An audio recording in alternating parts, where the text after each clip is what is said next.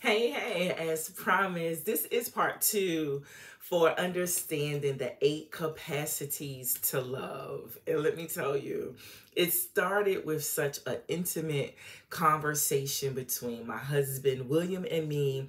And when we went out to dinner with another couple, um, the Kinneys. And so this is part two of an 11 part series. And the framework really provides like using the bodies of water to correlate the varying sizes to one's capacity and ability to give and receive love.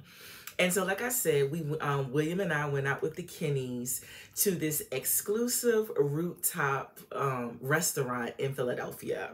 Now, William and I had never heard of this restaurant because the hotel does not advertise. It was like the Ritz Carlton. And you know, the Ritz Carlton, they don't need to advertise, right? So, anyway, they have a rooftop hotel that is really exclusively for their guests. And it's one of those situations like, well, if you know, you know. And the Kinneys knew, and they hipped William and I, and then we knew, right? So, anyway. as we sat there with this was the first time that we went out with the Kinneys. Now we knew Dr. Kinney like years ago, but this was the first time that we as a couple went out with Dr. Kinney and his wife. And so as each course came and we dined, the conversation got deeper and deeper and deeper. And so you know, in talking about how William and I, you know, built the first five years of my our business, which was like simultaneously building our marriage. We were newly married, newly building multiple business at a time. And most of us know you can't start too many new things at once. It's just too many changes for the human capacity to process. Well, here I go, like new city, new husband, left work as an employee, first time into entrepreneurship, never really built a business before, never been without a job, and having to like catch what I eat, right? And then on top of doing it with my husband i mean it was just so many new things at one time. And so we were explaining that to the kinneys and so it was in that conversation with a capacity for love emerged. So i talked um, about how william having the capacity of an ocean and me having the capacity of a lake. Even though i feel like i have the capacity of one of the american great lakes it's still a lake nevertheless and is definitely not as limitless and boundless as the capacity of an ocean which i feel like William has. And the very funny thing about it is that the conversation and the whole capacity had nothing to do with love initially. It was really about the capacity of how much you can get done in a 24 hour period for multiple days in a row. Because, you know, building businesses, we had our, nonprofit organization, Opportunity Inc., we had the cleaning business, and of course, I wanted to do my own thing, you know, working with couples. For those of you who are familiar with the Authentic Love Experience, the Authentic Servantship Leader Award Ceremony, the Heal Trauma Conference, like that's some, those were my things. And I'm like, okay, we can help you build yours but I need to build mine, right? So we were juggling all of these things. So, I mean, literally, my body would shut down. Like, I would just stop talking and I would lay in the bed for three days. I got up to use the restroom and to get something to eat. Literally, it was so much going on and it was nonstop from the time we woke up to the time we went to bed and I was just like, this is a lot. And half the stuff I didn't even want to do. I wasn't interested in doing. But because I'm a helpmeet, I'm a wife, I'm in an agreement that I will be in business with my husband. It was like, okay, let me do what I need to do. And all the times that I tried to quit and stop, William was like, you can't jump off the train in the uh, and it's going 100 miles, 150 miles per hour Like, you can't do that. Like, we're in the middle of it. You can't just hop off because you decide that this isn't something that you want to do. Like, you made a decision, we made a commitment. You know, we have offices, we have volunteers, we have contracts, we have this, we have that, honey. And so I had to own it. I had to take that radical acceptance, be like, okay, you know what? I did say yes even though I didn't count up the cost. I didn't even know what cost to count up. It says, you know, the Bible, there's a scripture in the Bible that talks about count up the cost, excuse me, before you get started. I didn't even know what the cost was because you don't know what you don't know. And I had no idea what it was like to really build a business, multiple businesses, and doing it with your husband that you just got married to. Go figure. so for those who know what I'm talking about, like pray for me, okay? But anyway, so the whole capacity conversation had nothing to do with love. It was really about one's capacity of how much you can take, how much you can handle, how much you can accomplish. Like William is a risk taker. I'm a risk, ad, ad, you know, more leaning toward risk aversion. It was just like, this was a lot. And so I don't want you guys to be surprised if I talk about these capacities outside of the context of love. But once I did my research and I continued to talk about it and process it, especially with my business coach, Shayna, and then with other couples, it was like, you know what? This capacity to love and for love and to give and receive love is huge. And I think it will help dissolve problems within re- intimate relationships. Because remember, we don't want to dissolve marriages and relationships, we want to dissolve the problems, right? And so I feel like using these bodies of water to help us understand our capacities, whether it's capacities to give and receive love or just capacities to be able to accomplish, you know, a certain amount in a 24 hour period, the capacity of what you can handle and what you can't handle, whatever the situation, let's use these eight bodies of water to help us understand our capacities as well as our intimate partners. Okay. So now, the first capacity is the raindrop. Now, I'm going to talk about these. I'm just going to mention them. The next eight videos and articles that you can read on Medium that I make sure I have the links in the description they're going to talk about each capacity in detail. But today, I'm just introducing the eight capacities and the eight bodies of water. And I hope even with this introduction to these bodies of water and the capacity levels that you will learn something and it will whet your appetite to come back to learn more. So the first one is raindrop, right? Just think about a raindrop is the smallest body of water just a you know a drop of water like think about that. We can compare it to a tear a drop of water a raindrop right? And we decided to use raindrop because we're dealing with outside the natural elements the natural water cycle. And so raindrop is the smallest body of water. And so the raindrop symbolizes the moment of a deep emotion vulnerability and empathy. Do you have the capacity to be deeply emotional, vulnerable, and empathetic? Ooh, I cannot wait until we talk about it in more detail. Okay, so that's the raindrop. So then you have a puddle.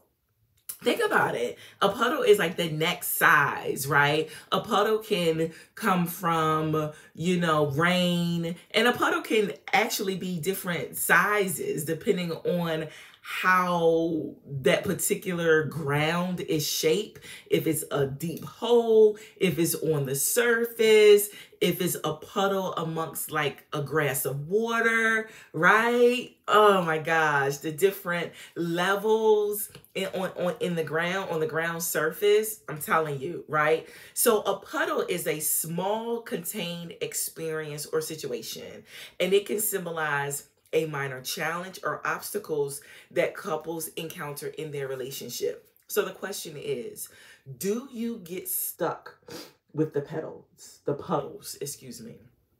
Do you get stuck with the puddles in your relationship and you can't move beyond minor challenges. You can't move beyond those minor obstacles. Think about sometimes some puddles, especially depending on what you have on, right? You may take that leave and you may jump over the puddle. Sometimes you are able to walk around the puddle.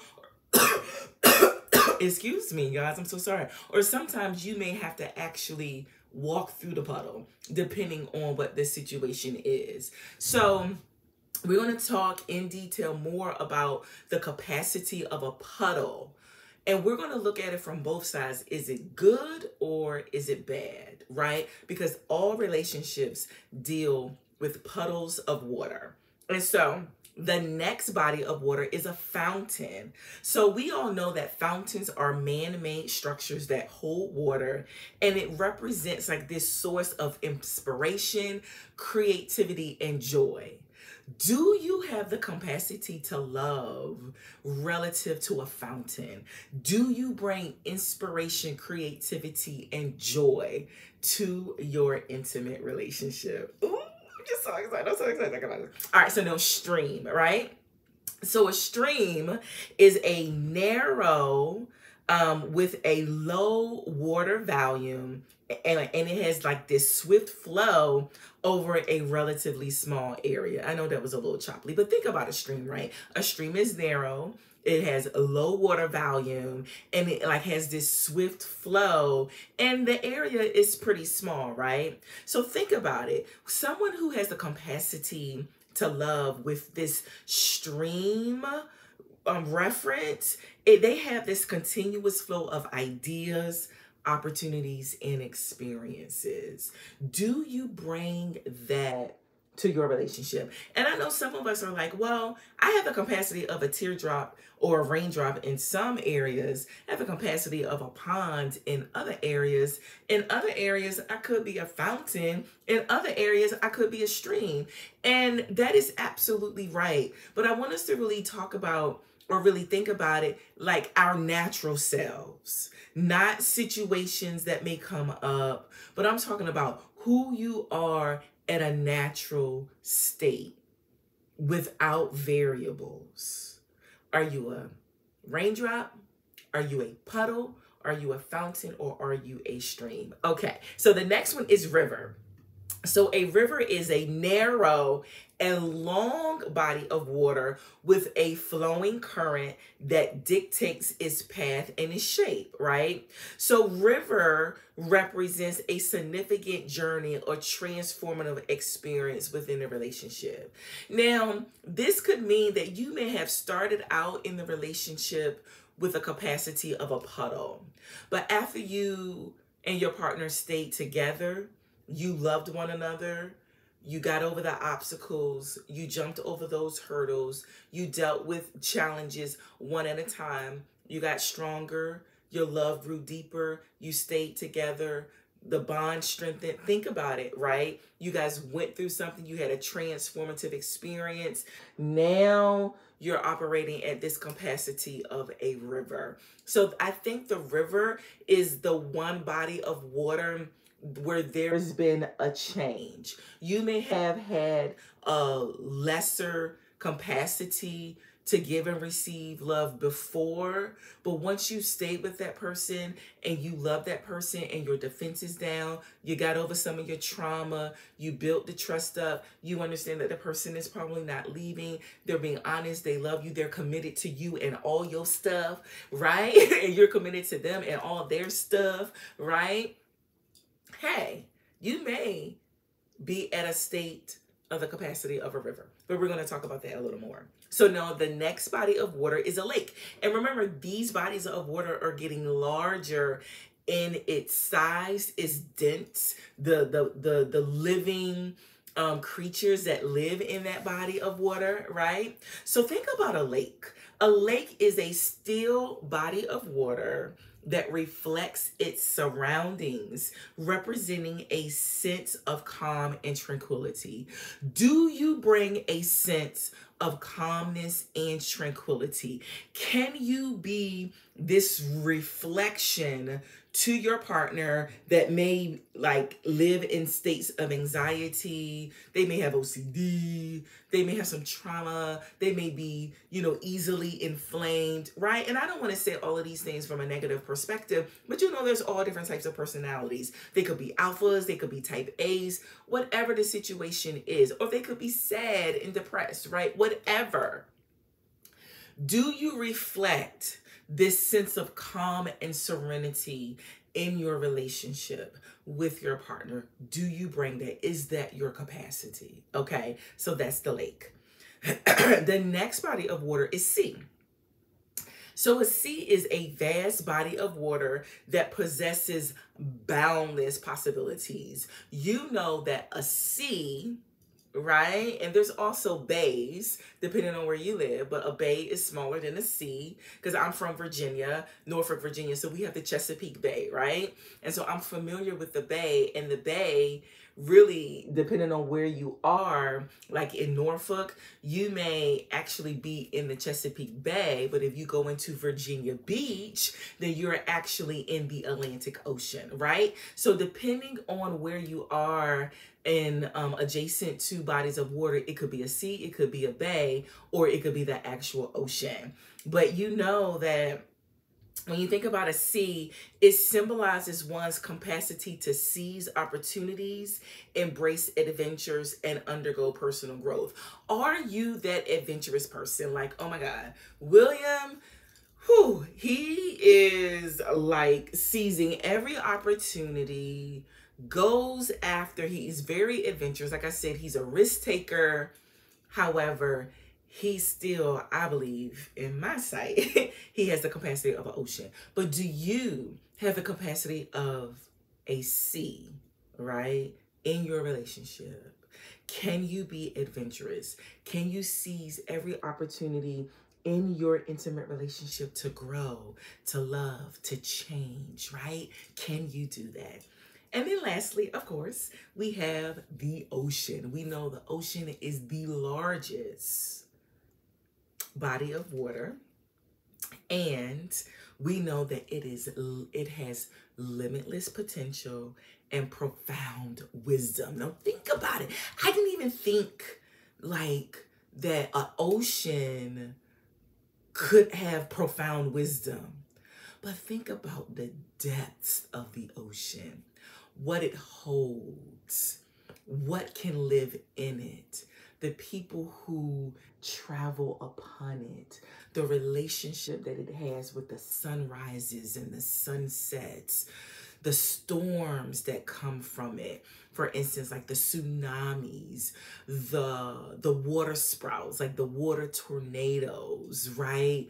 oh my god the the surges the waves that people surf in i mean think about the profound wisdom that an ocean has that's why i believe that even though william is adventurous and he sees opportunities i really believe his capacity to give and receive love and just his capacity in general is the capacity of an ocean because of he has such limitless potential and he has like profound wisdom. And so, again, oh, I cannot wait until we go into each one at a deeper capacity, a deeper understanding. So I really hope that you enjoyed this video about the eight capacities to love and that you will stick around, okay? And that you will check out the next eight. I am really, really excited. And let me know, please put in the chat what you've learned thus far. And if you like to read, go on over to Medium. Check out my articles um, in Medium. I have the articles and the YouTube videos that are, um, you know, correlating and paralleling with one another. Okay. I still appreciate you. I'm also on threads. And, you know, some people have been telling me to jump off of X. I don't know. I'm still figuring it out. But right now, I'm building a great and wonderful community on threads. So if you're on threads, go over to threads and follow me at underscore